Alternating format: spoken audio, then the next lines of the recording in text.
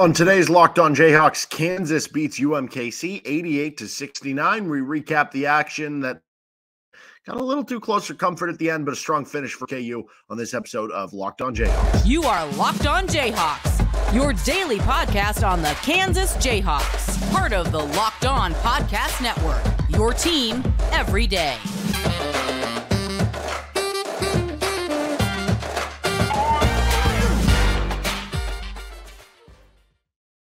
I'm Derek Johnson. You can hear me as well Monday through Friday from 3 to 6 p.m. on KLWN in Lawrence with Rock Chalk Sports Talk. Thanks for making Locked On Jayhawks your first listen every day. We are free and available anywhere that you get your podcasts. You can also find us on our YouTube page where you can like and subscribe to the show. On today's edition of Locked On Jayhawks, we're talking KU against Kansas City, UMKC, whatever you want to call them. Recap of the game.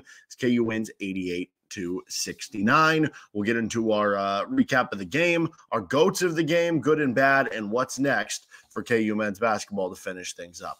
So the Jayhawks end up winning by 19. They did not cover the spread. Uh, it was a spread that they were favored by 26 and a half points. And uh, you know, it was it was an incredible close to the game to even win by 19 points. At one point, UMKC makes it 75 to 67. They go on a bit of a run. You have a couple sloppy turnovers, which overall didn't have a ton of them for the game. But, you know, down the stretch, a little sloppy, missing shots, uh, not playing great defense. They hit some threes. Foss was really good for them from the outside. He had five of them. And it ends up being 75 67. And it's like, oh man, what, what's going on here? Is this a repeat of the Eastern Illinois game? But that uh, 13 to 2 run to finish it off um, you saw what this team can look like and can do when they're completely locked in and focused at both ends of the floor and kind of, as Bill Self would say, like turned up. So it was nice to see that finish and that they can do that to lesser opponents, but you didn't really have that over the majority of the game. Like you wish that you would not have needed that run, needed that spark at the end of the game to get done what you needed to get done. I don't know what it is about these games lately against teams that you view to be lesser opponents that, you know, especially in the first two games against North Carolina Central and Manhattan, it was so easy for KU. Uh, but in the Chaminade game, it was a little too close. Right, that kind of hung around 15. Eastern Illinois got close at the end there, and this one gets to an eight-point game at, at kind of the under four-minute mark.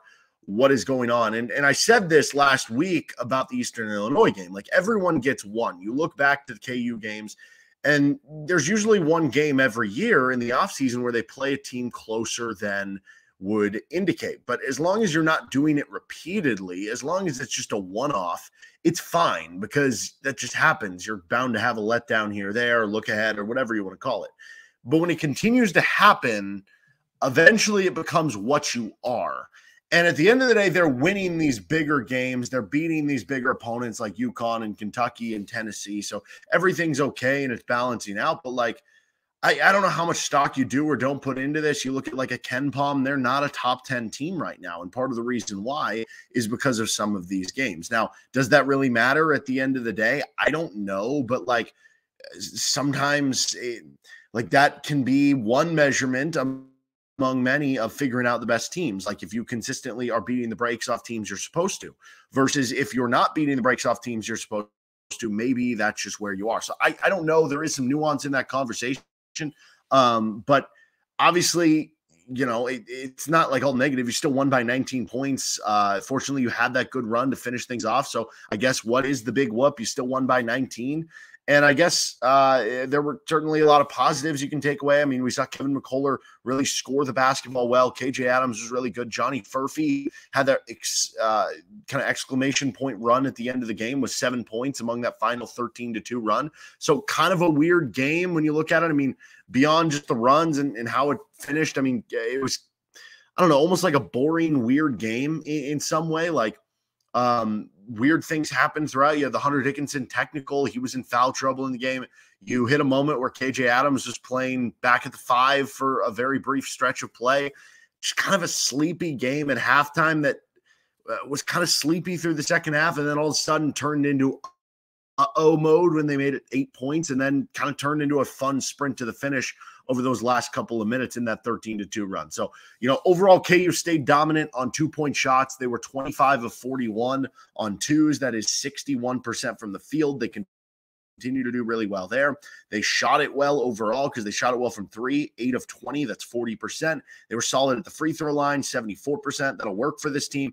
And they didn't turn it over much. I, I know there were a couple sloppy turnovers at the end, uh, but they only ended up with seven turnovers. So they did a good job avoiding those. They led 42 to 22 in points in the paint, right? Um, they nabbed 11 steals for the game. So that's a good amount of steals. Obviously, a couple of them down the stretch there. And they were 21 to 10 in fast break points. Like that was kind of apparent that KU was doing a really good job getting in those fast break opportunities and taking advantage when they were there. They had a big, big edge in this game in that area. And, and those things were all good for KU. You know, you had a double double from Hunter Dickinson. Um, you had KJ Adams was unbelievable, and Kevin McCullar continues on his kind of rapid ascension as a scorer, as somebody who you know, is taking that kind of Ochai Agbaji, Jalen Wilson jump we've seen from the last few years. Like that's happening right now with Kevin McCullar, specifically with his scoring ability, because we knew some of the other stuff was already there. So, you know, certainly some head scratching moments in this game, certainly some runs where you felt like, hey, you got to be more in tune. You got to be into it all the way through. You got to be more focused all the way through, or, you know, that UMKC played well or hit some shots. Uh, but overall, it's a 19 point win. A lot of, a lot of positives to take away, too. Um, I, I don't know. I, I, guess just just go beat the teams you're supposed to. It's just kind of weird how this works. How KU is like winning all these games, but for a majority of them, they're not coming by as much as you think. Does that matter much? Should it matter much? I don't know. They're eight and one, and they have three quad one wins already, so I don't really seem to care that much. But when you continue to kind of play with fire, eventually you might get burned, and it feels like that that's what KU's done in this game, in the Eastern Illinois game, a little bit in the Chaminade game. So I, I don't know. Like I said, it is a nuanced conversation. Overall, take the win and run and just uh, improve from it and get better. And hey, Missouri is coming to town on Saturday. Certainly, you'd hope and think that that one has the attention of the uh, students because or the uh, players, excuse me, because certainly it does with the fan base and the students. Uh, looking forward to that game on Saturday. All right, we're going to continue on for this episode of Locked On Jayhawks with our goats of the game, our good goats or bad goats. What's next for KU men's basketball on Locked On Jayhawks? This episode of Locked On Jayhawks is brought to you by Jase Medical. I know we come to sports to escape from some of the crazy realities of life, but can we just talk for a minute about preparing for real life? According to the FDA, pharmacies are running out of antibiotics like amoxicillin right in the middle of the worst flu season in over a decade. So you don't want to necessarily be in that helpless feeling. And if you want to kind of take control in some way, you can use Jase Medical. The Jase case is a pack of five different antibiotics to treat a long list of bacterial illnesses, including UTIs, respiratory infections, sinusitis, skin infections, among others. This stuff could happen to anyone. So visit jasemedical.com and complete your physician encounter. It will be reviewed by a board certified physician, and your medications will be dispensed by a licensed pharmacy at a fraction of the regular cost. It's never been more important to be prepared than today. Go to jasemedical.com and use offer code locked on to get $20 off your order with Jase Medical today. On to our goats of the game, good goats, bad goats for KU taking down UMKC 88 to 69. Uh, let's start with the good KJ Adams. You know, Kevin McCullar ended up leading Kansas in points with 25 of them for my money, KJ Adams was KU's best player in this game. Um, and I think a big part of it was how good he was over maybe the last 10 minutes. Uh, he had a couple of those like lob plays off the inbounds. He had, you know, he had one opportunities. He was getting to the free throw line. He was so good passing the basketball too. So he ended up with 18 points. He ended up with seven rebounds and he ended up with six assists. All of those numbers are really good numbers from what you're getting from KJ Adams. And as much as you know, we're we're about to talk about Kevin McCullar here and how much he's improved, as I kind of talked about there a moment ago. Like the improvement from KJ Adams from like okay, think about this. KJ Adams won Big 12's most improved player from last year or, or from two years ago, moving to last year, right? You could almost argue that I, I don't think it'll happen statistically because the stats might end up being similar to where they were last year. But you could argue that KJ Adams deserves to win that award, award if it were given out right now again because he's moving to a different position again. He's shooting, at least coming into this game, over 70% from the floor, putting up 12 points, four rebounds, three assists per game at a different position. Again, and the number's not, you know, that much different than they were a season ago that I don't know if he would win it, but because of what he's had to do and transform and be in a different role and everything, like you could make that argument again. But the 18 points now makes it two straight games that he scored 18. Both of those tie his uh, season high with the UConn game. He had seven rebounds in this one. That is the most he had of any game this season. His previous high was five, which he did against UConn and in the first two games of the season. And the six assists he had was a season high. I think that's a career high too for KJ. He also had four steals against Kansas City. So that was a season high. So literally in four categories, he had his season highs. He was unbelievable. Six of nine from the floor. He was six of 10 on free throws, which makes it now over the last three games this game, the UConn game, the Eastern Illinois game, he has gone 14 of 22 on free throws, which, you know, that's mid 60%, which is kind of all you're asking for, I think, from KJ after he had that slow start from the free throw line. So KJ Adams really good again in this one. Kevin McCullar gets a good goat here. He had 25 points, that was his new career high. His previous high was 24, which he had against Marquette. Six rebounds and five assists. So he also filled up the stat sheet and did a little bit of everything, grabbing some rebounds, getting you some assists. Um, Kansas ended up with one more rebound than UMKC had. Uh, Kansas City ended up with, I think, three more offensive rebounds than KU had we talked about coming in on paper, Kansas City was the better rebounding team. Well, you kind of neutralized it in this game. Like they technically won the rebound battle if you're looking at like offensive rebound rate and, and some of those things, but it was it was pretty dead even uh, along the way. And Kevin McCullar, KJ Adams, like having one of his best rebounding games, those were reasons why it was an emphasis for KU and it paid off.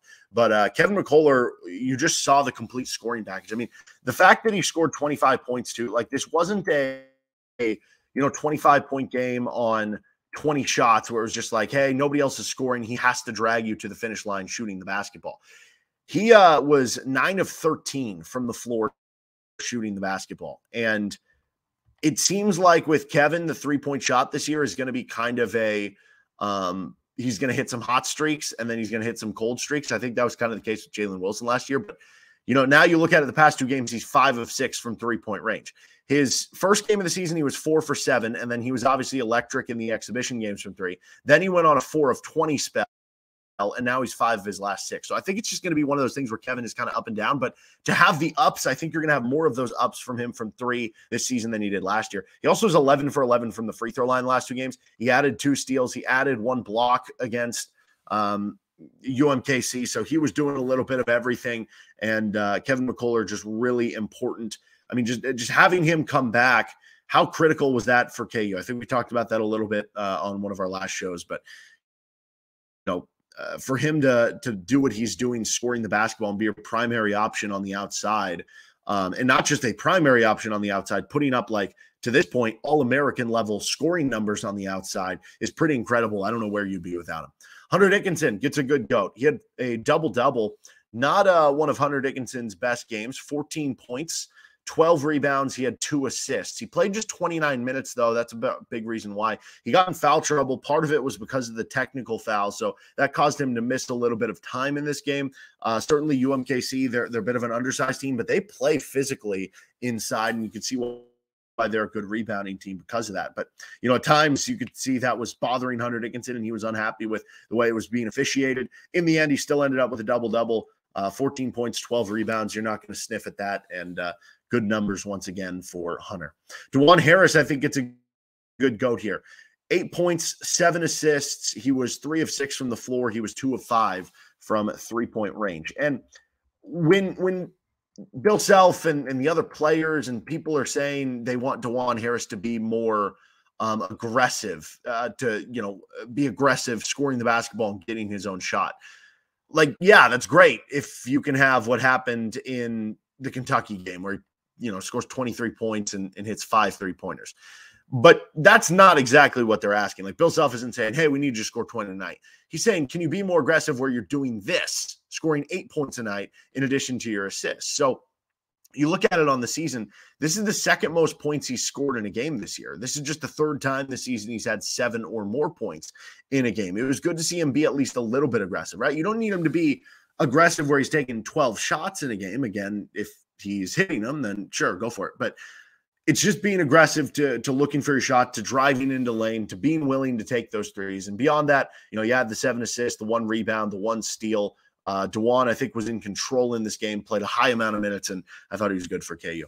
Johnny Furphy gets a good goat here, mainly because of that last stretch. He scored seven points in the last like two minutes. That certainly uh, adds to it. But you saw the athleticism on display in transition, hitting those couple of layups. You saw the corner three ability. He finished with 10 points and two rebounds in just 14 minutes of play. So that'll be great for the per, per 40 numbers, close to 30 points per game if you're looking at a uh, per 40 basis. So I thought Furphy, that was good for him to, to kind of finish out and uh, electrify things at the very end there and what he was able to do.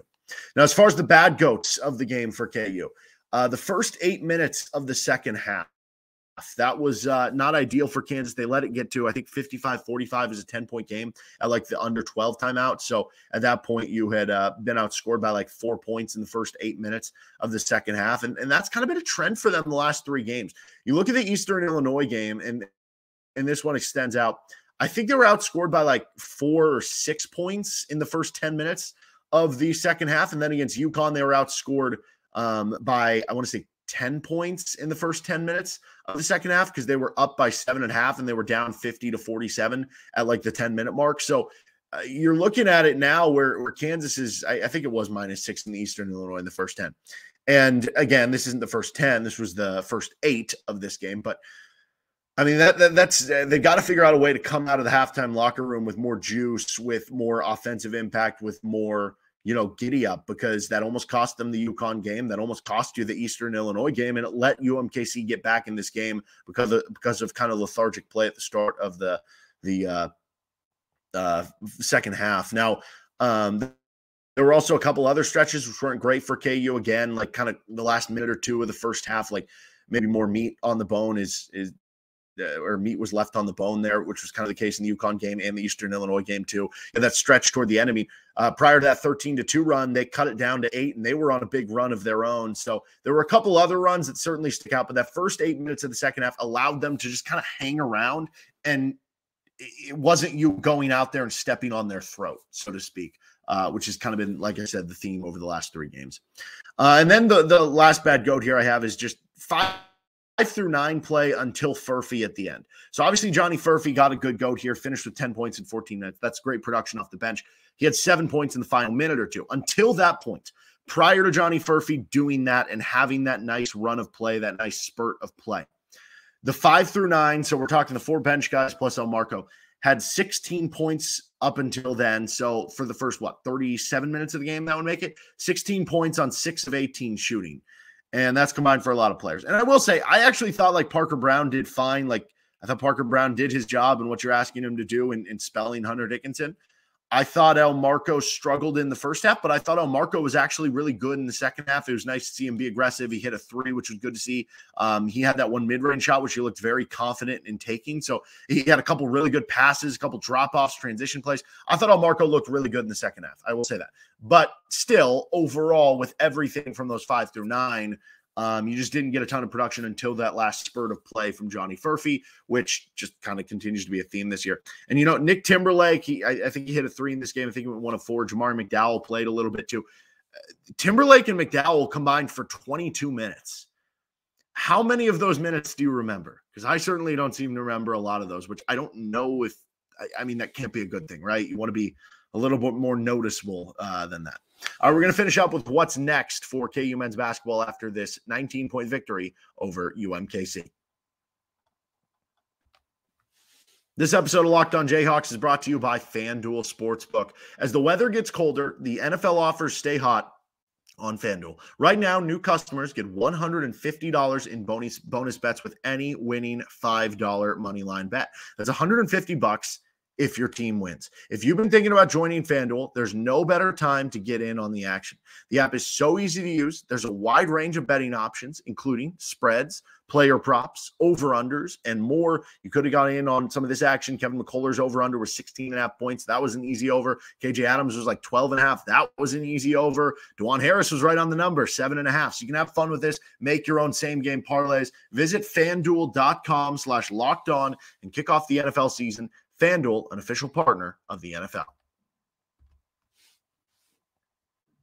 Finishing things up, what is next for KU? So they actually are only going to have two games over the next, what, like what is that 11 days something like that they play a game this saturday against missouri that one will be, be at uh 415 in allen fieldhouse and um, certainly should be a, a you know missouri's had some ups and downs early in the non-con but uh, i'd imagine they're going to be revved up to play after you blew them out on their home court last year and also because of the rivalry but uh, you would think Kansas should be up for too. Should be a great crowd in front of Allen Fieldhouse. Then you'll have a week off, which Missouri just had. So Missouri's had extra time to prepare for you and won't be uh, have to worry about you know is, is, everybody rested or anything like that, which maybe makes the Saturday game even more uh, difficult for KU in one way. But then you get a week off and you get to get some extra practice time and rest and everything before you go at Indiana. So a couple of, of big ones, and then you almost have a full week off after that. You have like five six days before the Yale game the following Friday before you have uh, Christmas off. So all three teams who are ranked in like the top 100 in that like 70 to 90 range on KenPom. So all teams that are decent, but all teams you should be able to handle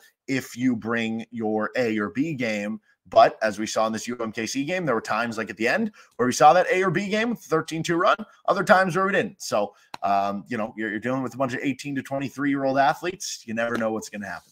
All right, we'll be back later in the week to preview the KU Missouri game. Nick Schwartz going to join us later in the week too. This has been Locked On Jayhawks. Find us anywhere you get your podcast. Like and subscribe to our show on our YouTube page. Have a good one. Later.